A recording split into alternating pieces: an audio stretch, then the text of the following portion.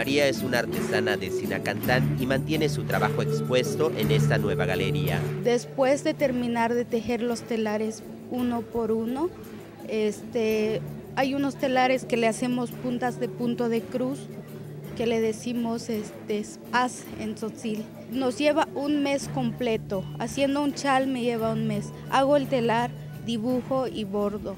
Y lo mismo hacemos, ya con, con los puntitos de punto de cruz, este, nos lleva un poquito más tiempo porque son puntadas que contamos cada, cada hilo, cada pedacito de, nuestro telar. La gente que quiera venir a visitarnos aquí lo vamos a exponer siempre. Su obra es uno de los que se difunden en la Galería Textil, ubicado en el municipio de San Cristóbal de las Casas, con la intención de dar a conocer el trabajo artesanal de diversas comunidades indígenas de Chiapas. Desde la Secretaría vamos a, difundir, a promover los pueblos mayas aún no se han extinguido. Aquí es un encuentro abierto, un encuentro abierto de indígenas y no indígenas, porque también somos incluyentes, ¿no? En esa galería cada visitante podrá apreciar el proceso que realiza cada artesana y conocer cómo se elabora un telar. Estamos manejando todo lo que es la zona altos, que es la más cercana a la, sede, y este, tenemos pueblos desde, en este momento aquí tenemos Sinacantán, tenemos también de parte de Ocosingo,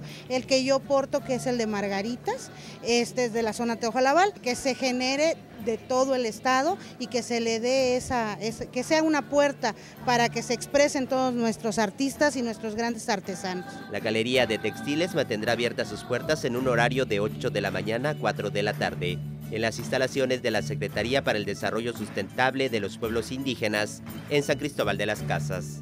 Alfredo Gómez, 10 Noticias.